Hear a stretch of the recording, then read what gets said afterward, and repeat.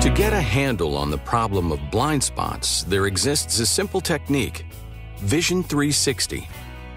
It consists of adjusting the inside rear view mirror and the side mirrors to obtain the broadest possible view around the vehicle. To get Vision 360, you need to direct the side mirror more toward the outside than usual. This adjustment cuts blind spots to a minimum and lets you see as much space as possible around the vehicle.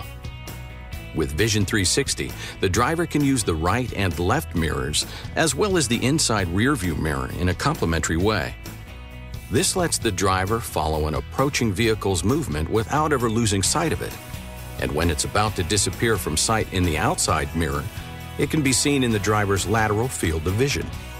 It's no surprise that this method of adjusting mirrors is used by professional pilots by adjusting rear view mirrors in a way that reduces blind spots around the vehicle, the driver gets a better view.